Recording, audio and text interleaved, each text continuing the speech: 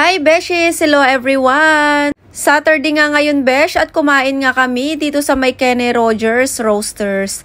Dito sa may City Center Besh, bagong bukas to dito sa Doha, Qatar. Sa may third floor Besh ng City Center. At ito nga yung kanilang menu. Ayan.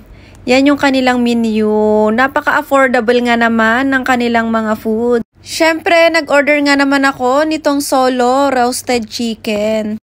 Ayan, complete set na yan, besh. Tapos nag-order pa ako ng mint passion mocktail worth 13 reals.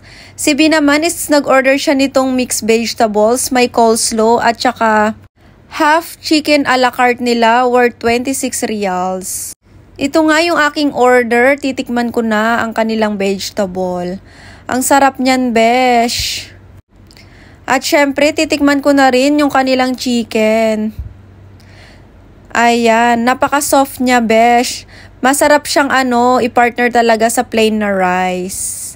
Ayan. So yun lang, salamat sa panunood. At saka syempre nag-take away nga pala ako ng 5 pieces na muffin. Napakasarap nung muffin nila, Besh. Sabi ko, dadaling ko bukas sa trabaho. Ayan, at naubos ko nga yung isang piraso. Meron nga siyang corn sa loob. Yun lang, salamat sa panunood. Okay, bye!